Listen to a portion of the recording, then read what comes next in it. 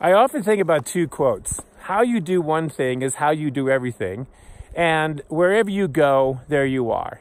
It brings into focus that what we do in one area of our life really is a microcosm for what we do in someplace else.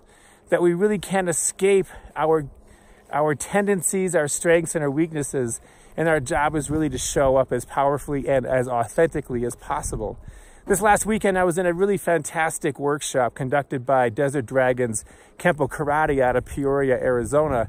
And we were studying and experiencing how we can be in a fight, if you will, and yet be very relaxed and let the flow of the other person's energy come through and past us without resisting it. And of course, there's times like a punch or a kick that we have to exert a certain amount of energy in response.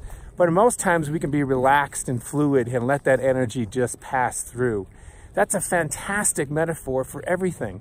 Whether it's at work when we have a disgruntled employee who is causing us trouble, we don't necessarily have to respond in the same energy in which that person is giving to us.